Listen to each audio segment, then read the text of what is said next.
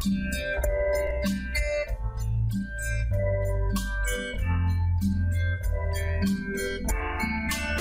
অ্যান্টিম্যাটোরিয়াল rifle তৈরি হবে মোদির মেক ইন ইন্ডিয়ায় মোদির মেক ইন ইন্ডিয়ায় নতুন সংযোজন।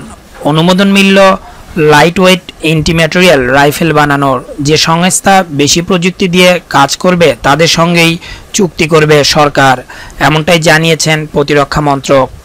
পনেরো কিলোগ্রাম থেকে কম ওজন হবে এই রাইফেলের।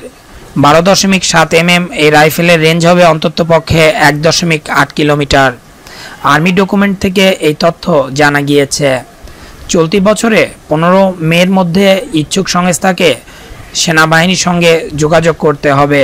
বর্তমানে ভারত ব্যবহার করছে দক্ষিণ আমেরিকার তৈরি anti material rifle brigadier Rumel Dahiya জানিয়েছেন, যদি শত্রুপক্ষের বাংকারে এসে আঘাত করার চেষ্টা করে, তাহলে এই রাইফেল দিয়ে আঘাত করা সম্ভব।